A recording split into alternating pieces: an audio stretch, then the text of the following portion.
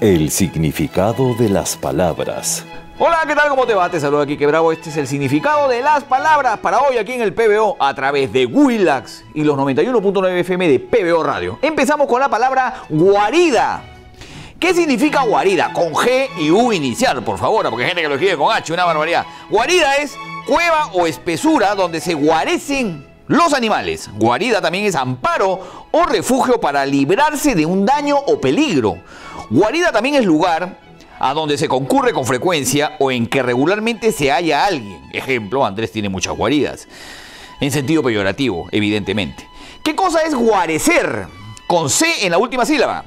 Guarecer es acoger a alguien, ponerlo a cubierto de persecuciones o de ataques, preservarlo de algún mal. Guarecer también es guardar, conservar y asegurar algo. También guarecer es, en tercera sección, curar, medicinar. También guarecer es refugiarse en alguna parte para librarse de un daño o peligro o de las inclemencias del tiempo. Significado ahora de acopio. Acopio es acción y efecto de acopiar. ¿Qué cosa es acopiar? Viene de copia, abundancia, dice la RAE. ¿Qué significa copiar? Juntar, reunir en cantidad algo y más comúnmente granos y provisiones. Significado ahora de bruma, con B inicial. Bruma es niebla y especialmente la que se forma sobre el mar. También en algún momento se usó, dice la RAE, está en desuso, bruma como sinónimo de invierno, estación del año. Significado ahora de caleta. Caleta es entrada de mar más pequeña que la bahía. Caleta también es en México, Nicaragua, República Dominicana y Venezuela, barco que va tocando fuera de los puertos mayores en las calas.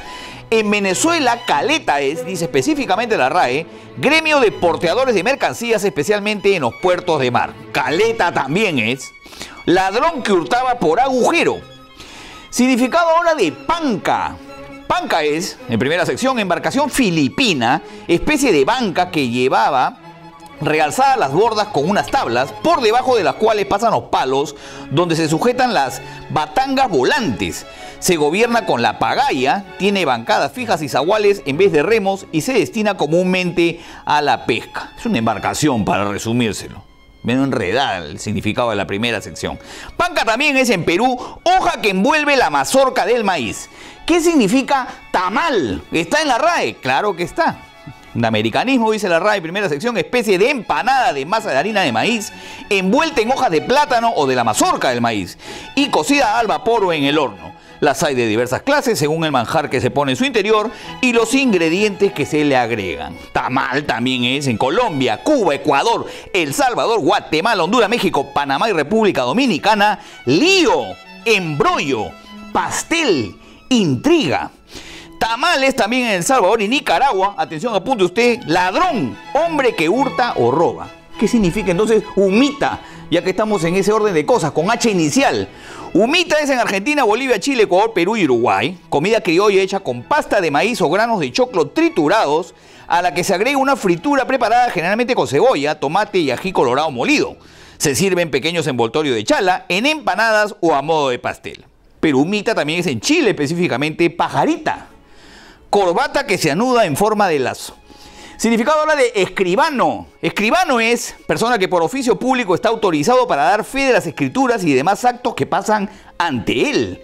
Escribano es pendolista. Luego les digo, escribano también es ave paseriforme granívora con pico corto de base ancha y coloración brillante en los machos. ¿Qué cosa es pendolista? Pendolista es persona que escribe con muy buena letra algo a lo que yo estoy muy alejado. Pendolista también es memorialista, escritor de memoriales. Este fue el significado de las palabras. Deja sus comentarios y comparte este video si le gustó. Chao. El significado de las palabras.